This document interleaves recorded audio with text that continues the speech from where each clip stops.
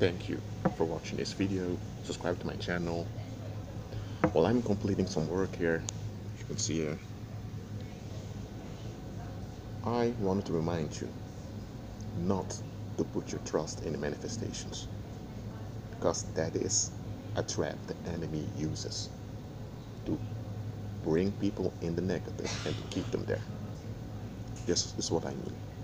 We have a situation going on and that situation has some bad effect upon you. It either stresses you out or it burdens you with something with the situation. Now you want something done about the situation. That's understandable. There's nothing wrong with that, that mindset. But often people don't look beyond the situation. They only see the situation, have re- a reaction against situation, and now they're all into that reaction to get a solution they don't evaluate the situation to see whether the situation is a trap. Because this also happens. Sometimes the enemy, through other people, causes some contention around you in order to lure you in the negative. Because the enemy knows that you will want to fix it. And here's the thing the enemy causes the situation, and through some other people nearby, he comes with a solution. But the solution the enemy will offer you is to keep you in the negative because the enemy had that outcome to keep you in the negative a long time ago. But he just came with a situation to cause a reaction to you in order to give you a solution to keep to get you where he wants you to be. So whatever situation is going on around you, look beyond it. That's why Christ said to speak to the mountain. He did not say speak to the tree, even though that's also possible. But effectively speaking, you get what I'm saying here speak to the mountain, a mountain is the bigger picture. A mountain is a big physical, a natural, it's a huge natural construct that covers big land masses. So in order to address a mountain, you need to look in through the whole environment. And a mountain is something that covers quite some territory and it, it, it covers quite some nature, quite some trees, rivers, that's in a natural, literal sense. But Christ used the phrase to speak to the Christ taught us to speak to the mountain in order to teach us to look beyond. Way too often we react and we get solutions, but those solutions have fatal long term consequences we don't foresee. Alright, let me give an example to you.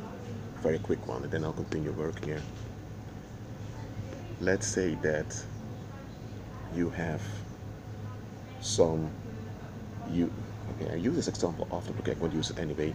You have some youths some some young men in a community that that form gangs and they are causing noise. And from time to time they break into stores. So it's criminality it's a real thing going on and people are bothered by it then there's one politician that says, you know what, we need to put more police on the streets in order to be more tough on those, those guys. Then there's another politician who has 40 years experience on both the national, international, as on the, as the local level. And this politician tells them, no, no, no, no. The older politician tells the younger, don't do that. The younger says, sir, I know you have four years experience, but this is 2018 now. This is a new time. Things need to go different today. Things are not the way it were when you were young. The elder man tells the younger, young man, listen to me. Don't do that. It will escalate. And then the younger politician asks, okay, what? Why shouldn't we be hard on those young, young street thugs over there? Then the elder one says, who feeds those young men?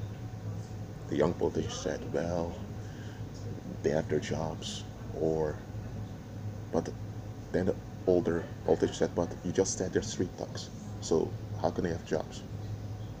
Then the young said, yeah, well, some have jobs, others are on welfare, or they have relatives, or they have their support groups. Then the old one asked, which support groups? Those gangs. Then the old one said, oh, so those gangs they have are support groups. Why do they need support groups in such a manner? And the young politician said, uh, well, then the older one said, those young men, I'm not approving their lifestyle, but they are parts of society that are neglected and they are trying to survive. That's why they form those gangs now. It escalates and something should be done about it. I agree with that. But you're not dealing with the root of the issue. If you deal with them harshly, you will breed resentment amongst them. And remember, those young men have brothers, sisters, they have friends, they have influence. So, and they have. Oh, there's noise there, but okay, I'll continue. Those young men, they have become role models for, for others. So if you treat them harshly, those that perceive them as role model, models are going to become embittered against authorities. And what will happen then is that the accusations in, upon which those street talks operated will be validated by them harshly. And then that movement will grow. Even if there are no street gangs on the streets anymore, that resentment will, will remain among the population and that will express itself in other ways. So you will be masking the situation by removing those guys from the street and treating them harshly. It's like when someone has a fatal cancer, you give them some medicines so that they their bodies can function well. Their skin becomes smooth. What happens is you mask the issue by removing some symptoms, but the infection is still there, it's still growing. Okay, that was a long example, but I want to give the long example to teach you something here. Don't just look at situation based upon your own understanding. Don't look at the situation based upon your conditioning. Look at things in their entirety. Look at the bigger picture. Do that it because it is because people are often short-sighted that the enemy traps them. And how does the enemy trap people in their short-sightedness? By coming with instant manifestations or gradual manifestations. Those are not instant but they're gradual.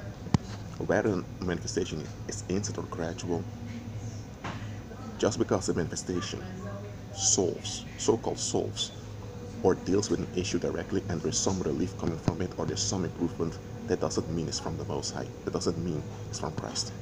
The enemy often blinds and traps people with so called solutions. So don't live your life chasing manifestations. I agree with Christ, walk by faith, and no matter what, keep on going. Operate in a confident expectation of good because you expect life. You are in agreement with Christ, okay? Well, that's it for now. I created Christ. Get peace.